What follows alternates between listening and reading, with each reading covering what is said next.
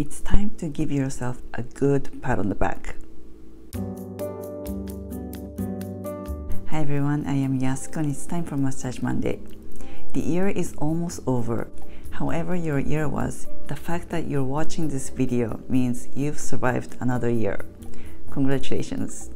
You deserve a good pat on the back. But it's hard to give yourself a good pat on the back without using some kind of tool. So I started looking around to see if there's a household item that I can use to give myself a good pat on the back. The first one I saw was a TV remote.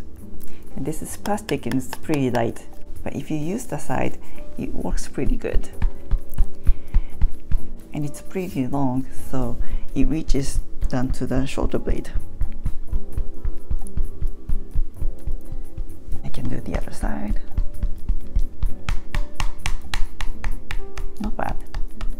Then I saw my Hydro Flask water bottle.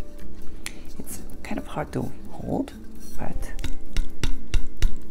it works pretty good, although it makes noise.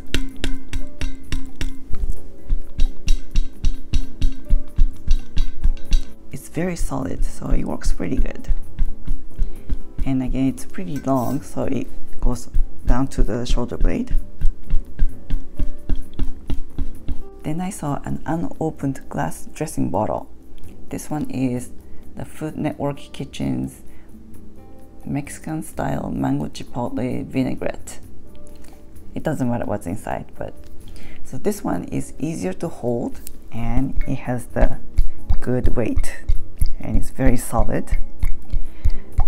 Again, it makes noise and it's pretty heavy because it's liquid inside.